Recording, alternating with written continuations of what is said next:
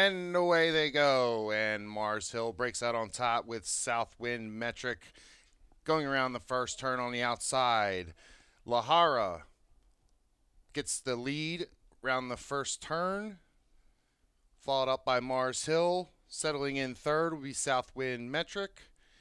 In fourth, we have Vocalize. Sixth by a length is Alamo Mission.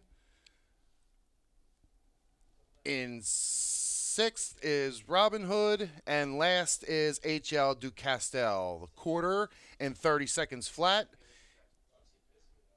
It is Mars Hill on top. Southwind Metric. Lahara's on top.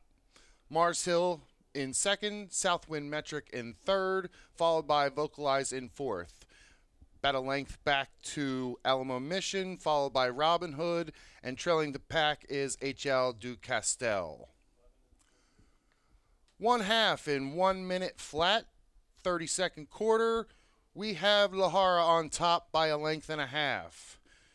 Second is Mars Hill, followed by Southwind Metric in third. Length to Vocalize, followed by Alamo Mission, Robin Hood, and HL Du Castel trails the pack. Three quarters in 129 and three. It is Lahara coming down the stretch in front, followed by Mars Hill on the outside. In third, it's Vocalize on the inside, followed by Southwind Metric. Coming up on the outside, we have Mars Hill taking over from Lahara. Lahara in second, South Vocalize in third, and Southwind Metric coming up on the outside in second, but it is going to be Mars Hill with the victory.